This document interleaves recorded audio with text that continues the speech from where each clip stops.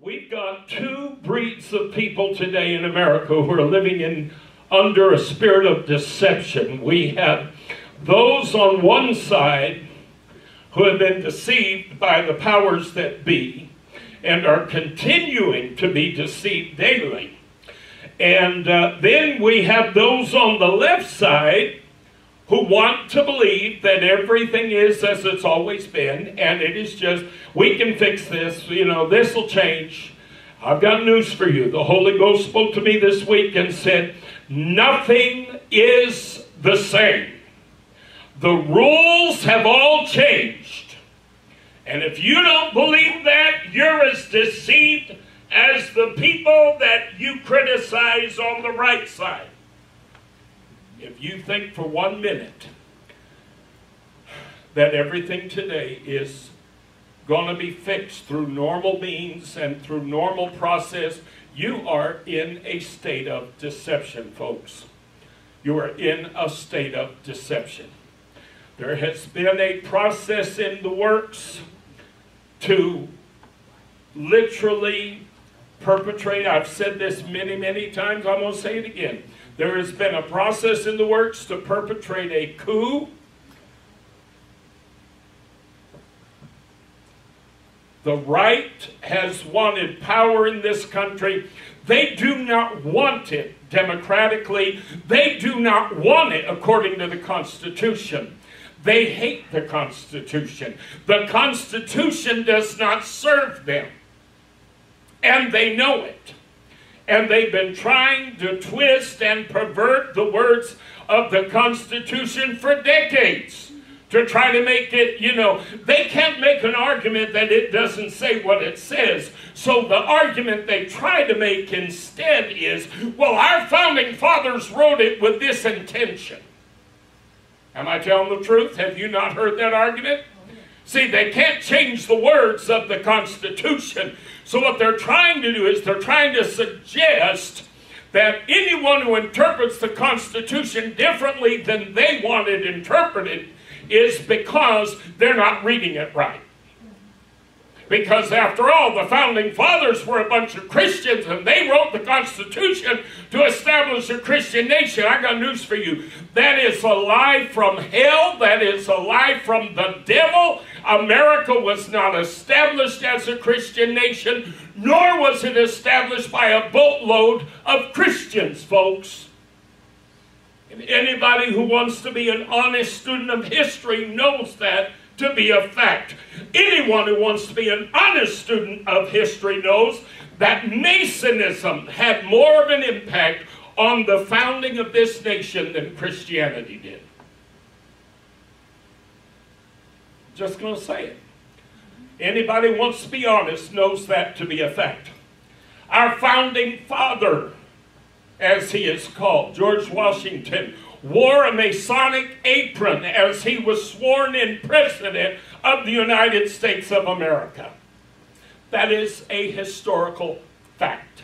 That is not, that is not one of, you know, the right's hairball schemes that they, you know, the, the, the, uh, the idiotic, you know, fallacies they throw out that have no basis in fact. I'm not talking something that has no basis in fact. There are pictures that have been painted of George Washington taking his oath, and he is wearing his Masonic apron. And I got news for you Masonry and Christianity are not compatible in the least. Not in the least. So if you think this country was based, but you see, Satan can't deceive you on the big things unless he can first make you believe little lies.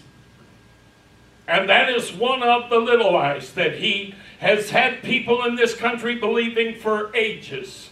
Oh, America was based on Christian values. America was based on Christian principles. No, no. America was based on basic moral values. You think that? But morality will not get you into heaven. Jesus will. And Jesus had nothing to do with the founding of the United States of America. I've got news for you had nothing at all to do with the founding of this country. We, we, we are in a bad, bad, bad, bad state of affairs. The Spirit of the Lord finally spoke to me, finally, and let me know. Do you know why your church has been empty all these years? Do you know why you've been incapable of getting people to come into this church all these years? You know why? There's been a purpose. Now, I for years I felt like God was punishing me. You know, I felt like maybe it was because I wasn't doing something right, Sister Lisa, or I wasn't preaching something right. And the Holy Ghost spoke to me and said, "No, sir, that has nothing to do with it. Has nothing to do with it. Has to do with the fact that everything was going to change." And this is not a time in history to be building a church in the traditional sense. This is not the right time for that. We are going to be resuming services in our home shortly. Uh, there's a lot that needs to be done, an awful lot that needs to be done. Uh, we are going to sell off a lot of stuff the church owns, a lot of stuff the church has.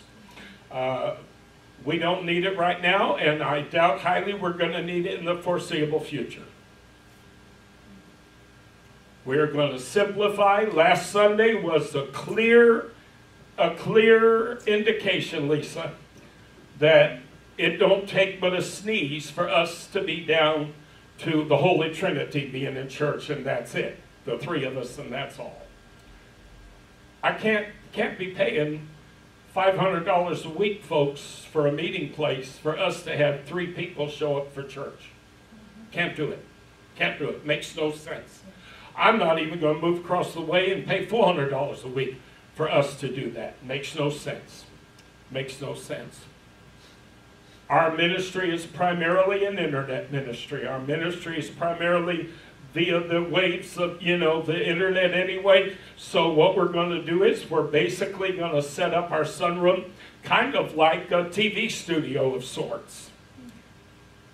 And we're going to put chairs, but we're not going to do it like we did last time. It's not going to be as formal as last time. We're just, if, if there's so many of us there, that's how many chairs we're going to have. So you'll have plenty of room and you'll be able to be comfortable. We're not going to do this thing the way we've been doing it. Why? Everything has changed. I'm not just talking about for our church, I'm talking about in our world. Everything has changed. Donald Trump has spent his life circumventing the law in order to get his way, breaking laws, hiding, deceiving, conning. Got news for you, folks. The Republicans have no thought in the universe of giving up any power in this country ever, ever. I'm not talking about in the 2020 election. I'm talking about from this day forward, they have no thought in the universe of giving up power. The Constitution is about to be shredded. There's a reason why Brett Kavanaugh was so important to the Supreme Court. There's a reason why it had to be this man. They could have easily withdrawn his nomination and put somebody else forward. It happens all the time. Many presidents have done that.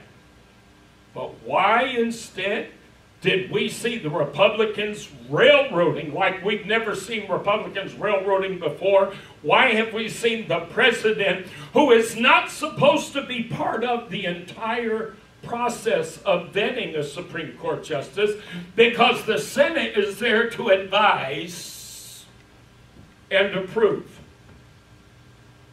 The president is supposed to step back and let the Senate do its job. This jackass isn't about to do that he puts his fingers in the Justice Department where they don't belong. He puts his fingers in the Supreme Court where they don't belong. He puts his fingers in the advise and approval process where he doesn't belong. They needed this specific man because this specific man could care less about the U.S. Constitution. He has no interest whatsoever in the Constitution of the United States of America. And I've got news for you, folks. And I, am telling you, this entire service today, from the minute I started talking till we're finished, is prophetic. You put it on your calendar and see if I'm telling the truth. Write it down. And as things come to pass, tell me that I was lying and fibbing to you. They had to get this man on the bench because from this day forward, Donald Trump is going to begin to do things that are so against the Constitution, that are so contrary to the Constitution, that it's not even funny. And when it reaches the Supreme Court, he's going to get a stamp of approval. He'll be able to get away with anything he wants to do. Damn the Constitution. He's already put in for all the groups and people on Facebook who are against him. And he was given, he was given warrants to be able to go to Facebook and request this information. Facebook's been fighting it in court. Guess what's going to happen when it gets to the Supreme Court? Supreme Court's going to say, oh, for national security, he should have access to this information. Why, yes, we need to have access to this. He has put in for every group and every individual on Facebook who is working against him in a formal, organized fashion. Got news for you. That includes this duck right here.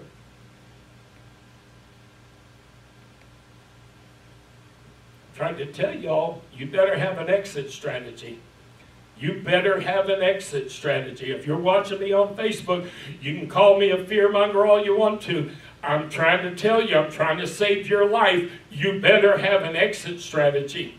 If you've never saved money in your life, you better start saving it now. If you've never put aside uh, money for things, you better start doing it now because you better realize you're going to have to head to Canada before too long. You watch and see, folks, there's going to be a mass exodus. As soon as this Constitution starts being torn up like a meaningless document, as soon as the Supreme Court starts red stamping everything Donald Trump wants to do, Constitution be damned, you watch. There are going to be people, especially celebrities and people with great wealth and people that have money, they're going to be jumping off this ship faster than you can say boo because they know what's coming. They see what's coming.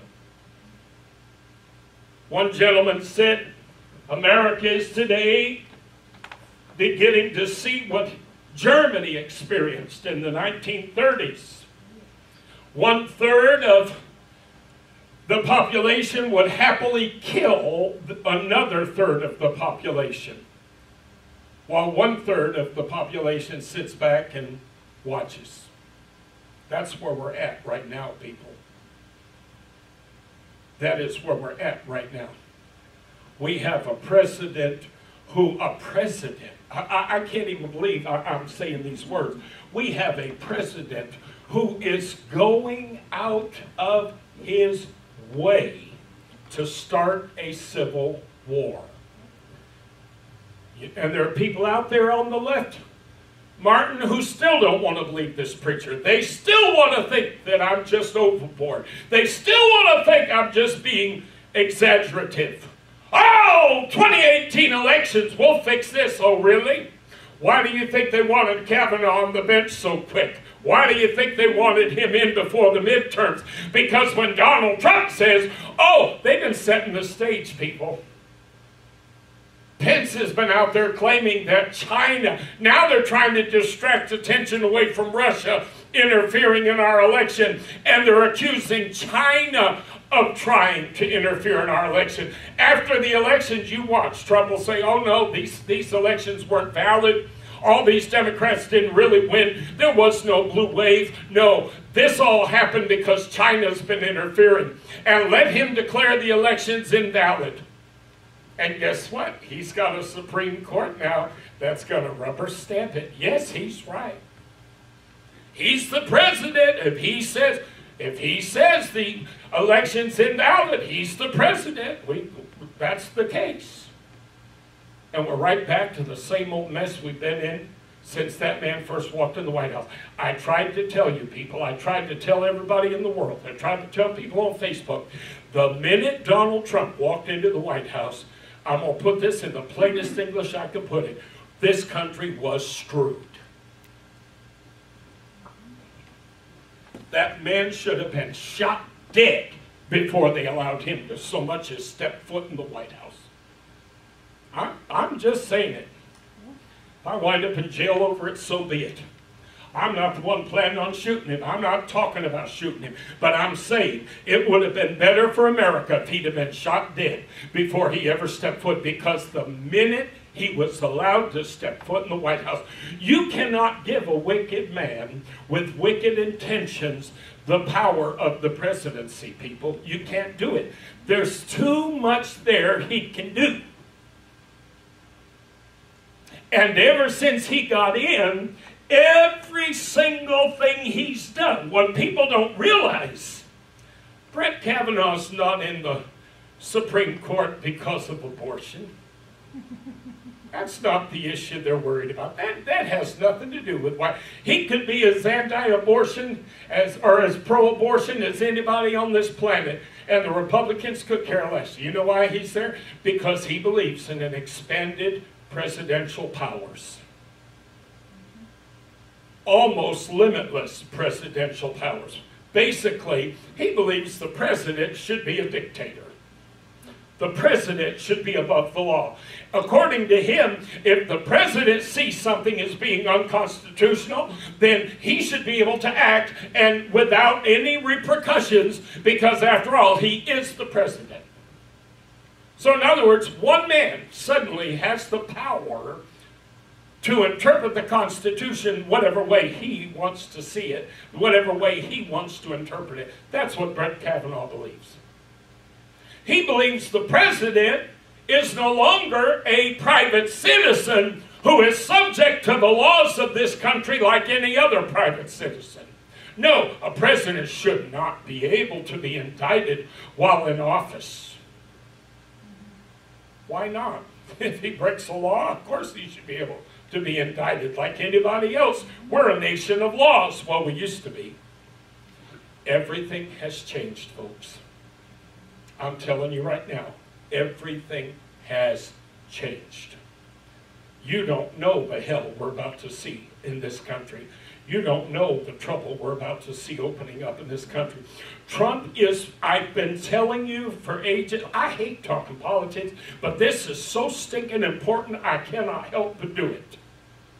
He has been playing, I've said this over and over again, he has been playing by Hitler's playbook from the word go. From the first minute he started his presidential campaign, he has been playing by Hitler's playbook. Hitler said such things as, hate is more powerful than dislike. So what you want to do is, you want to make people hate certain things, not just dislike it or disapprove of it. You want to make them hate.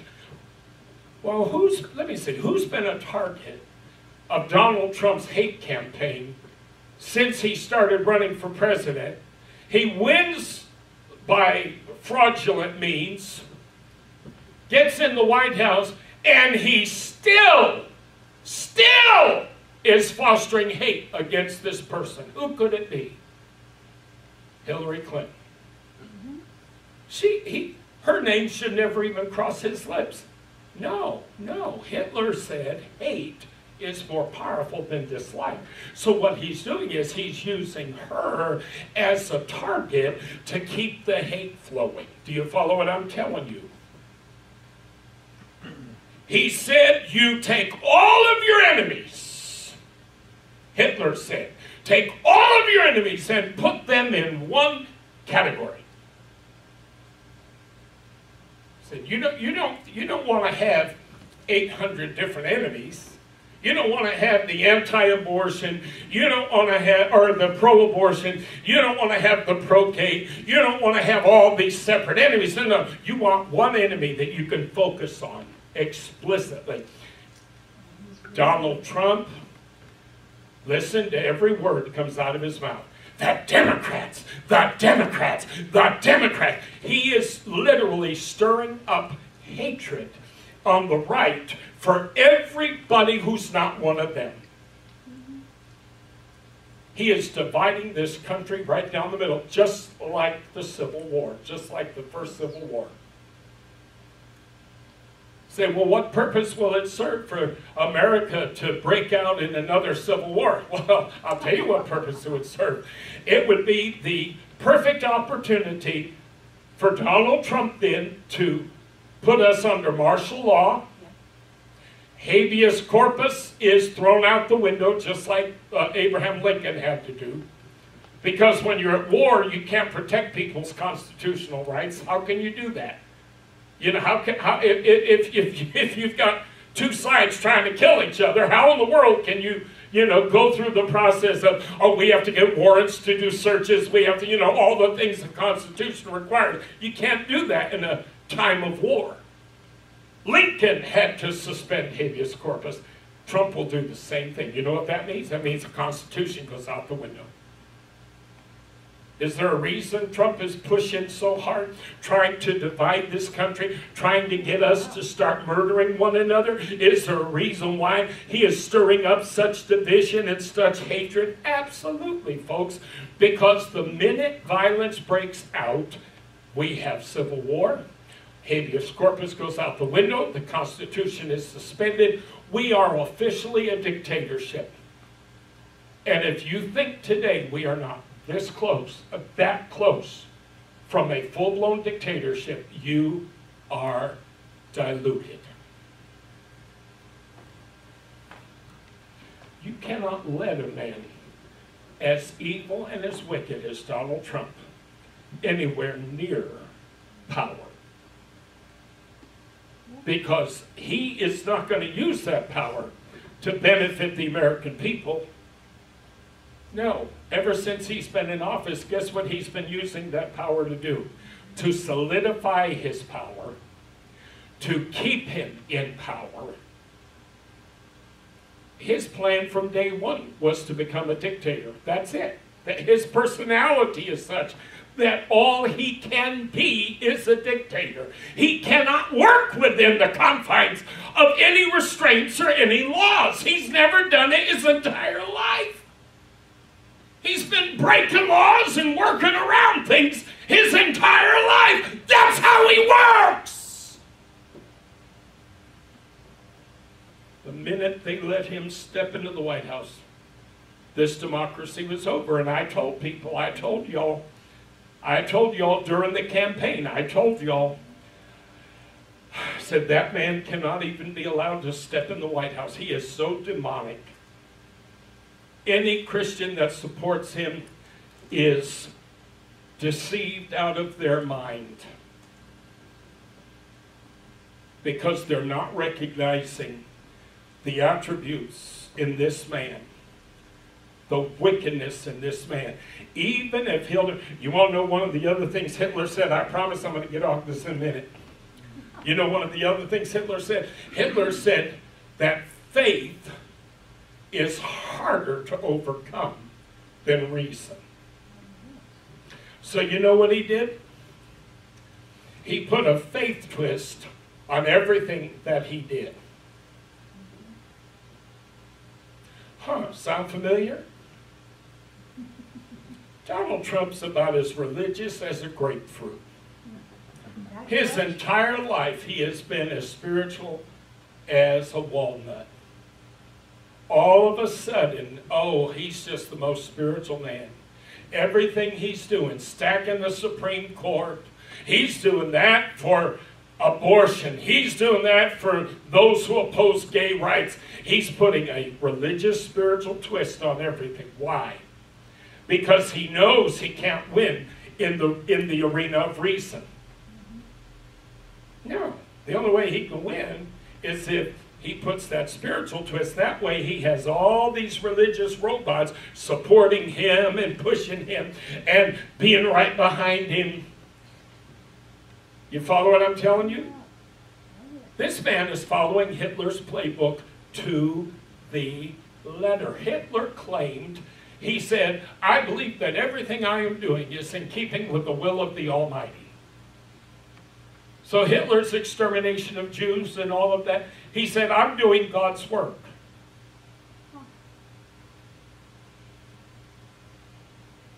We got a guy now who says, Oh, I'm doing God's work. Doesn't care nothing about God. Never has cared anything about God. All of a sudden, though, I'm doing God's work.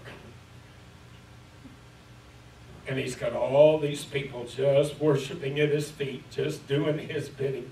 Because after all, everything he's doing, he's what they don't realize is Brett Kavanaugh on the Supreme Court has nothing to do with abortion.